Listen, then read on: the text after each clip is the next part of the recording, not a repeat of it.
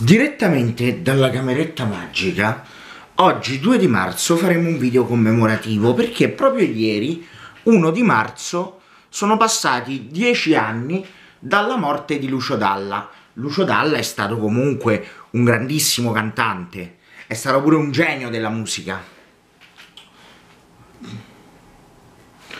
Poi tra le sue canzoni più celebri abbiamo 4 marzo 1943, Com'è profondo il mare, Attenti al lupo, Anna e Marco, Occhi di ragazza, Nani che fu l'ultima canzone che cantò poco prima di morire al Festival di Sanremo del 2012.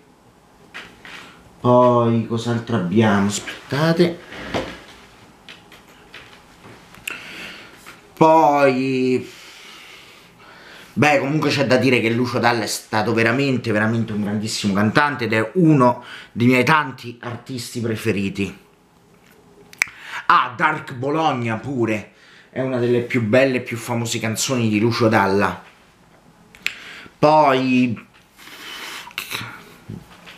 Lucio Dalla poi aveva pure una casa alle Tremiti ed era a quanto pare devoto pure a Padre Pio e a quanto pare lo conobbe pure in gioventù.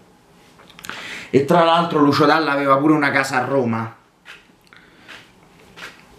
Tra, poi a Lucio Dalla gli piaceva molto Bologna notturna. Ho visto un video di Lucio Dalla quando andava a Bologna di notte. Andava a comprare il giornale all'edicola e, e gli piaceva molto prendere il cappuccino. Quindi pure Attenti al lupo è stato uno dei brani più famosi di Lucio Dalla, ma anche uno dei più belli. Eh, vediamo un po'. Lucio Dalla poi era, era molto simpatico, era un amico, era amico un po' di tutti. E comunque Lucio Dalla, diciamoci la verità, è mille volte meglio in confronto a molti cantanti di oggi e quindi è un cantante che consiglio caldamente di far conoscere alle nuove generazioni e di far ascoltare anche un paio di canzoni. Comunque, ora.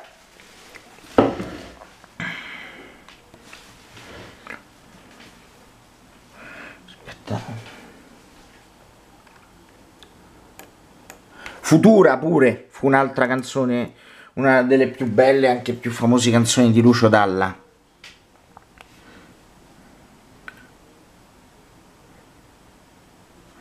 Ah, e poi dal 4 marzo si potrà pure visitare la barca di Lucio Dalla a Formia.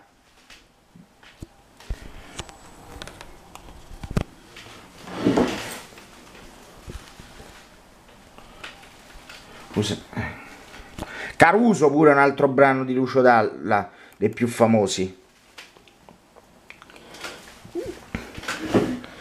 Canzone.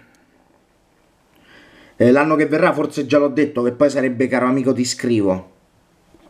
Ah, Piazza Grande.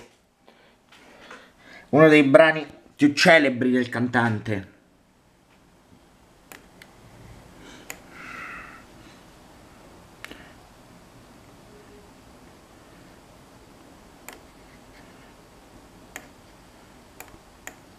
L'ultima luna telefonami tra vent'anni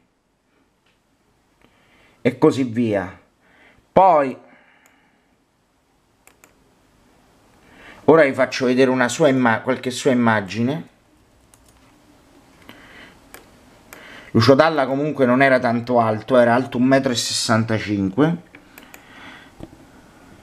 Questa è una delle sue foto più celebri, più, o meglio più note.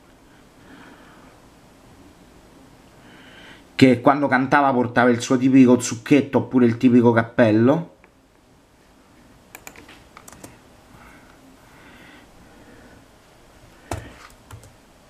Poi ah poi Lucio Dalla riposa nel cimitero monumentale della Certosa di Bologna che magari se dovesse capitare che dovesse tornare a Bologna andrò a rendere omaggio al cantante. Vi farò vedere pure il suo manufatto cioè la sua tomba.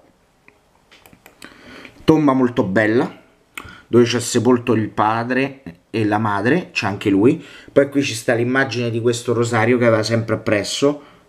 E è stata fatta pure una sagoma, una statua di Lucio Dalla col suo tipico cappello, il bastone e il clarinetto.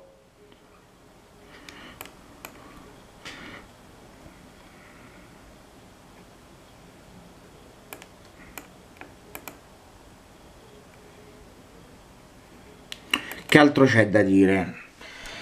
Beh, comunque, Lucio Dalla presumo che manca un po' a tutti. Comunque, eh, sarebbe stato bellissimo per me conoscerlo, perché era veramente, veramente una, gran, una bella persona.